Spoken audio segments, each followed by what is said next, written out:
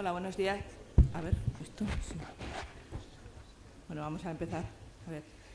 Bueno, un poco recordar lo que, lo que vamos a hacer esta mañana será eh, empezar a Ángel Fidalgo de la Politécnica de Madrid a, bueno, a mostrarnos el buscador de buenas prácticas que ayer ya mencioné en mi intervención y eh, seguiremos con dos sesiones cooperativas. Trabajaremos por grupos, pues eh, intentando resolver, mm, bueno, resolver, eh, contestar a unas preguntas que los moderadores irán proponiendo en los grupos y bueno, en cada una de las sesiones ya el moderador principal, por así decirlo, eh, expondrá cómo se va a, llevar a cabo cada una de las sesiones. Pero el tema es eh, trabajar en grupo para sacar unas conclusiones y unos indicadores que nos sirvan a todos. Entonces, Ángel, cuando quieras. Hola, buenos días. Ah, me pongo ahí.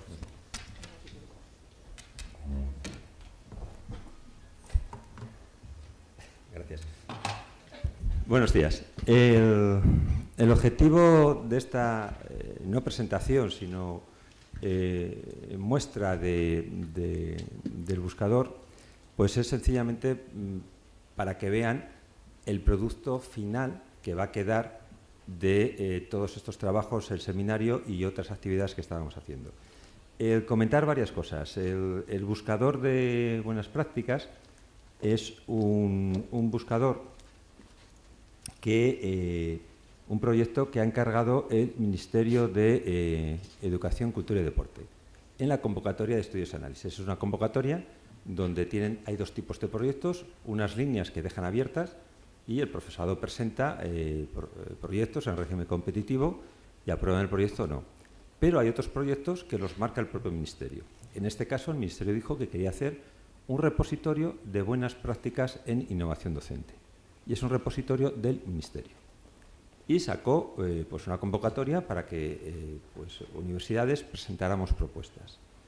Eh, la propuesta que, nosotros presentamos, que es una propuesta que se realizó entre cuatro universidades, concretamente eh, la Universidad de Zaragoza, que presentó el grupo HITTIC, que, lleva Marisa, Seña Chaluce, eh, se presentó también la UNED, el grupo de educación de Catalina Alonso y Domingo Gallego, y se presentó también por la Universidad de Las Palmas, el Centro de Innovación del CICEI, que, cuyo director es Enrique Rubio, y por mi universidad, el laboratorio, el ITI, el Laboratorio de Innovación y Tecnología de Información, del cual soy director, y este grupo pues eh, nos dieron el proyecto. Las cuatro personas que lideran los grupos están presentes hoy aquí y, estaremos en ese, en ese trabajo. Por lo tanto, la propuesta que hicimos, pues la, aprobaron. Pero no hubo, no, no hubo que, que innovar mucho en la propuesta. Estaban muy claras las especificaciones de qué es lo que quería el Ministerio. Por lo tanto, eh, este proyecto es el repositorio de buenas prácticas e innovación docente que va a tener el Ministerio de, Educación. Por otro lado, otra de las cuestiones que quería comentar es que lo que les voy a enseñar no es ni siquiera una prueba alfa. Y de hecho los programadores no querían que lo trajéramos porque está en desarrollo, pero sí que quería que vieran un poco el producto final de qué va a quedar de parte de los trabajos que vamos a hacer aquí, para tener una idea del producto que se va a entregar al Ministerio y que va a tener el Ministerio. Y que, insisto, es un repositorio de, buenas prácticas. El, buscador o el repositorio que, que vamos a presentar es, eh, tiene por lo menos varios aspectos mm, que sí me gustaría eh, eh, comentarles. Les comentaré sobre, sobre cuando, cuando lo muestre algunas cosas, pero eh, me gustaría situar el contexto de lo que vamos a hacer aquí. El, el problema, eh, hay dos, dos patas en este, en este proyecto. Uno es la tecnología innovadora, que es la que vamos a ver, que permite una eficacia en, en- los resultados de búsqueda.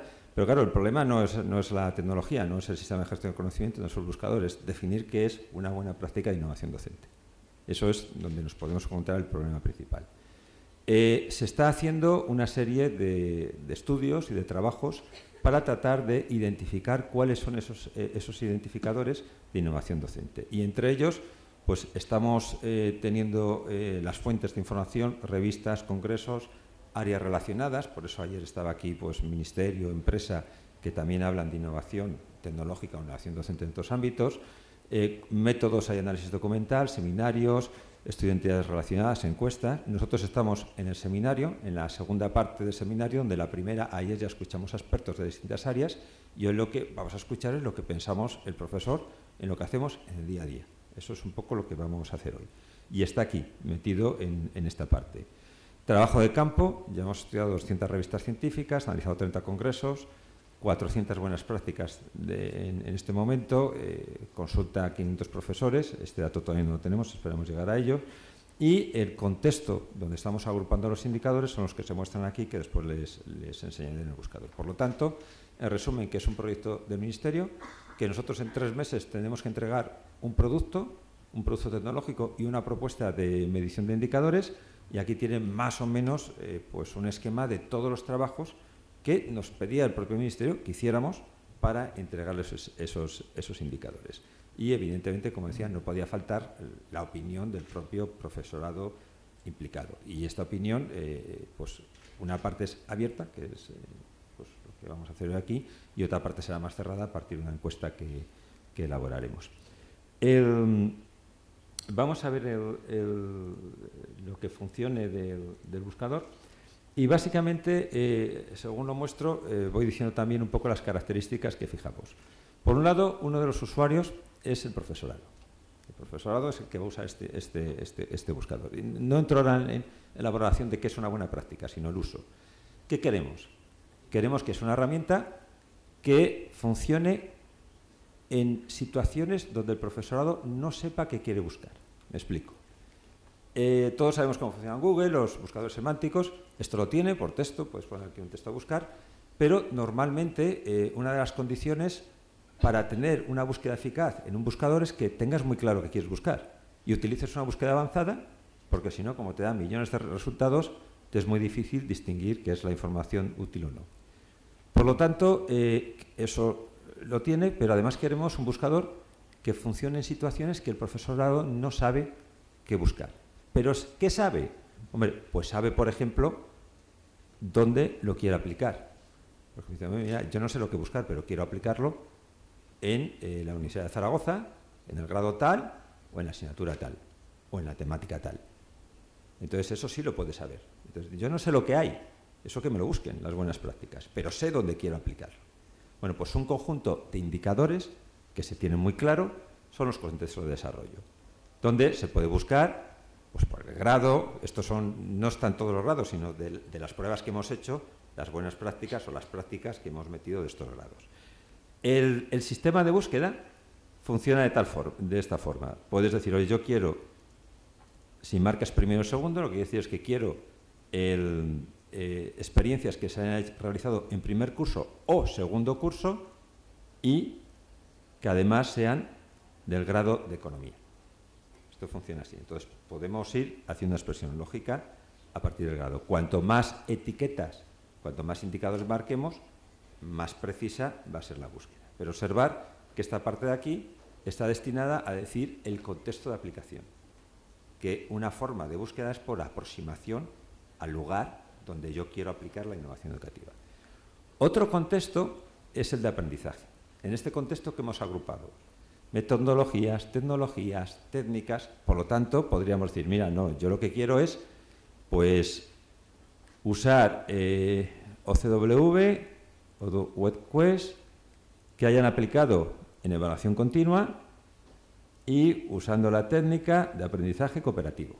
Con lo cual aquí ya la búsqueda, daros cuenta, quiero buscar algo en el grado de economía que se haya hecho con alumnos de primero o de segundo que hayan utilizado estas tecnologías, cualquiera de las dos, y además que se haya aplicado en evaluación continua y que además haya usado aprendizaje cooperativo. Con lo cual, en esta parte de aquí, tampoco sé lo que busco, pero puedo tener claro qué tecnología quiero usar, puedo tener claro en qué metodología lo quiero utilizar, puedo tener claro qué técnica voy a utilizar. Entonces, observar que sigo sin saber qué es lo que hay o qué innovación busco, pero estoy teniendo muy claro dónde lo aplico o sobre qué metodología o cuestión relacionada con el aprendizaje. Esto funciona eh, de esta forma, es decir, que como veis un poco la característica del buscador sirve para dar mucha, mucha concreción en la búsqueda sin saber lo que búsquedas, o eh, puede ser más genérica, es decir, yo puedo decir que lo que quiero es hacer un...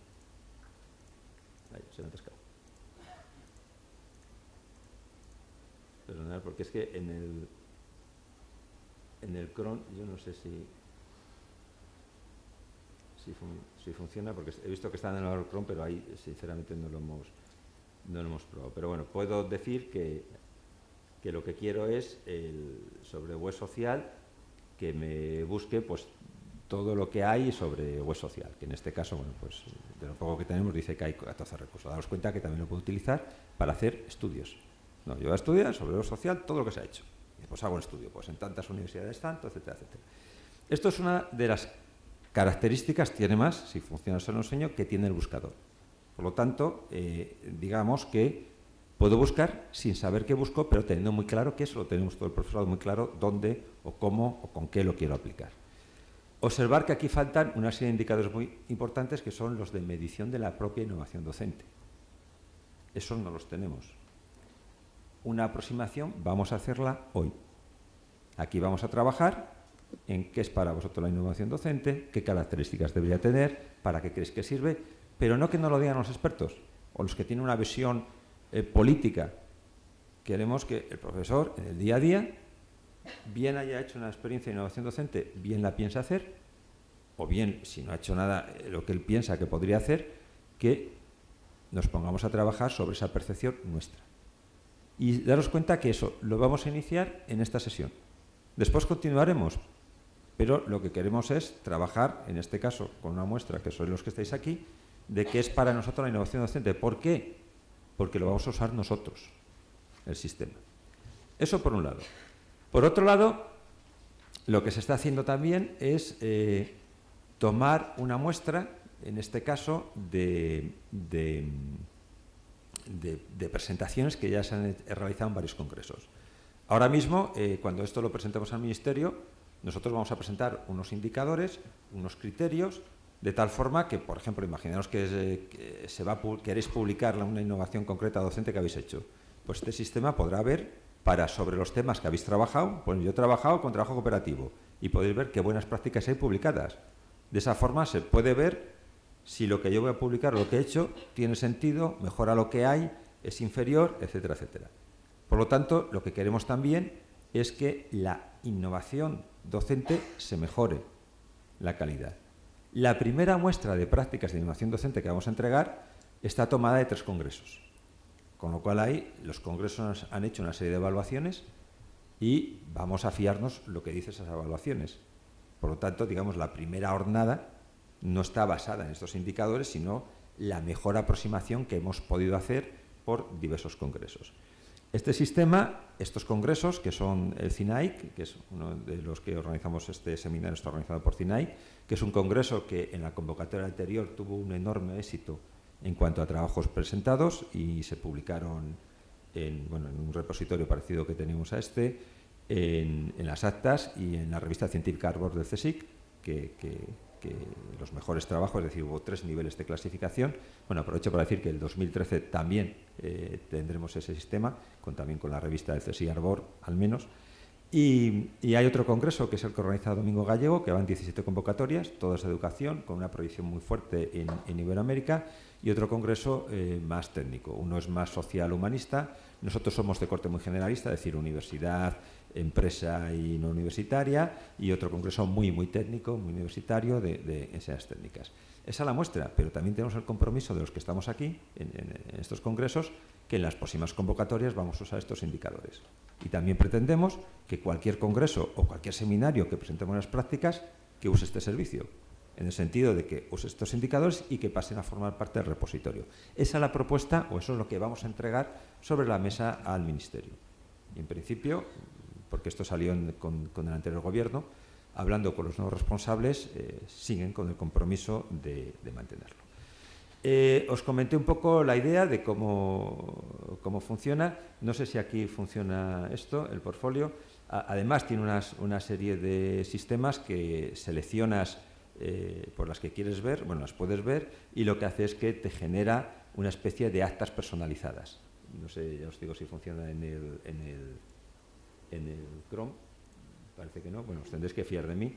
Entonces esto lo que genera es un archivo doc con todo lo que has seleccionado y por lo tanto, si os des cuenta, para congresos, para nosotros esto es tremendo porque en lugar de los tochos de actas que sacamos, puedes personalizar perfectamente el acta. Y eh, dentro de, cada uno, de cada uno de ellos, pues ya bueno, pues, eh, ves la información que hay, cada, cada práctica, el, pues las, eh, el resto de etiquetas que tiene. el sistema te dice además pues, si has marcado pues un tema, los que hay parecidos, en fin, hace una segunda búsqueda sobre lo que estás trabajando, pues, pues qué temas hay parecido. Entonces, como veis, es una herramienta eh, para nosotros muy funcional, para el Ministerio muy útil, porque lo que quiere es mejorar el nivel de, la innovación docente y personalmente, eh, es una visión personal, a mí me gusta porque eh, si de verdad podemos definir de una vez qué es la innovación docente, medirla, nos evitará mucho trabajo repetitivo, nos evitará mucho trabajo de, de hacer cosas y después quedarnos con esa sensación de que lo que hacemos pues no sabemos si estamos reinventando la rueda o, podía haber avanzado algo más. Entonces, bueno, pues esa es un poco la idea. Mm, producto final de lo que es este, producto final de lo que queremos sacar aquí son indicadores de qué es la innovación docente, es en lo que nos vamos a poder trabajar. Será una aproximación, ojalá de aquí saliera una lista de indicadores que pudiéramos incorporar directamente, ojalá.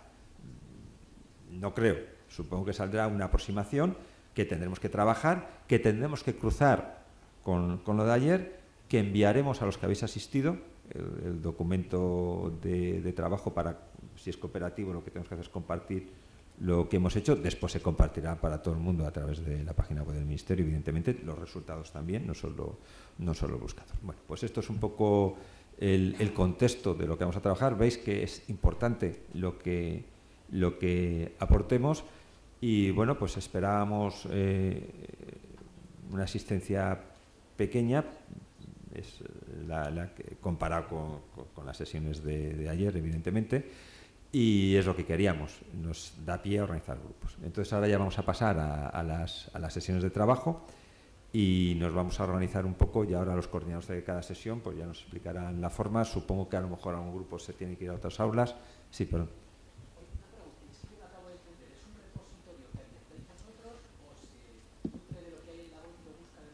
No, el, repositorio hay dos fases. Una es la que entregamos al Ministerio.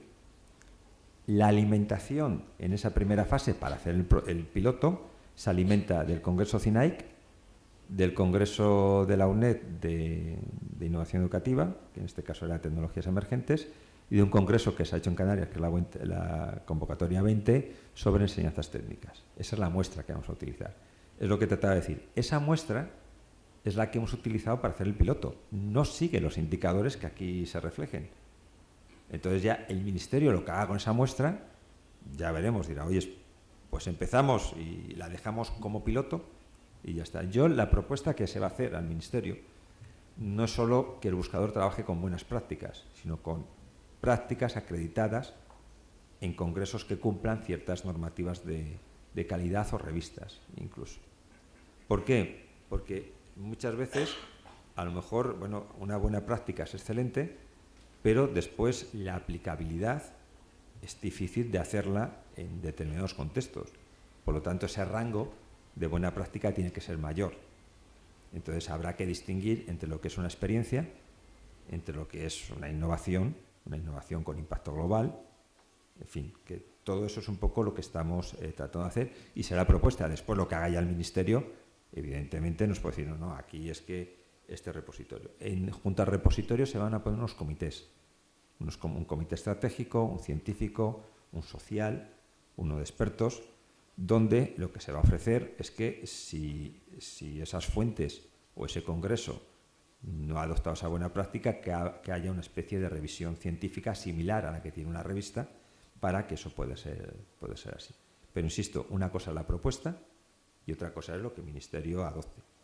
En principio lo lógico es que se esté un tiempo con el piloto, trabajando con más congresos que se quieren adherir, y después se dé una vuelta de tuerca. Eso es, lo lógico, pero insisto, eso ya es un poco lo que, lo que, el Ministerio lo que el Ministerio diga. Desde luego el Ministerio lo ha encargado y nosotros vamos a entregar con, con, con los planteamientos que os he hecho aquí. Desde luego los estudios que se han hecho son de muchos frentes. El trabajo que se está haciendo yo creo que es, es, es bueno y, bueno, yo creo que el, mayor aval que, que, creo que podemos dar no, no son bueno, las fuentes, los estudios, evidentemente es un aval científico de método y proceso, etcétera, pero eh, te garantizo que las personas que estamos detrás somos auténticos enamorados de la innovación educativa, que todos, yo soy el que menos tiempo lleva, llevo 26 años, no quiero decir que sean mayores mis, mis compañeros, pero ya la experiencia es tremenda. Y nosotros, eh, por ejemplo, el, primer congreso que se hizo de innovación educativa fue en el año 82 y lo hizo en la Escuela de Mina, Paco Michavila. Fue el, primer congreso que, se hizo, es decir, que tenemos una trayectoria, 17 convocatorias, un congreso, 20 otras, nosotros irregular, pero también muchos años. Entonces, hombre, la primera vocación, el primer interés nuestro es el de todos, el de cualquier profesorado, que de una vez identifiquemos qué es la innovación docente, que tengamos una herramienta que a nosotros nos permita aplicar la innovación docente para el aprendizaje, para nuestros alumnos, etcétera, etcétera, que a su vez nos puedan reconocer la innovación docente, porque creo que es algo que si trabajamos nos gusta que, nos reconozca, y hombre, y, y, bueno, esto ya la imaginación y será el, primer ariete que tengamos para ir reivindicando una serie de, de, cosas que se os preguntará, que podemos reivindicar también desde aquí, es otra, otra de las preguntas. Pues no sé si tenéis alguna aclaración más. De todas formas, ahora ya los coordinadores y los grupos mm, se puede ya matizar. Bueno, pues muchas gracias y empezamos ya a, a trabajar.